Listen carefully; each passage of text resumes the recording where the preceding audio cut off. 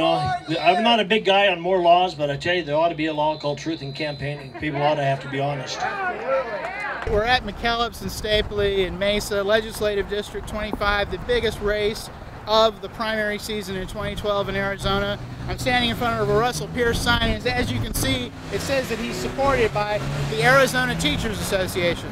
Well, there are a couple things wrong with this. First is the there shouldn't be an apostrophe at all if you're going to have this kind of sign.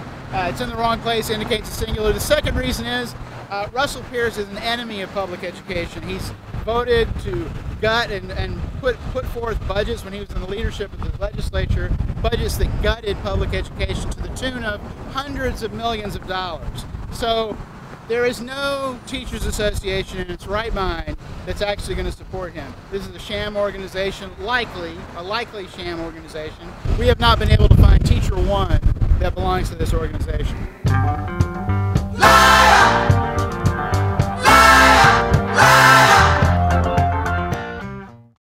And this is a battle of epic proportion. I want to tell you, it's more than just about enforcement. Our model in Arizona is attrition by enforcement.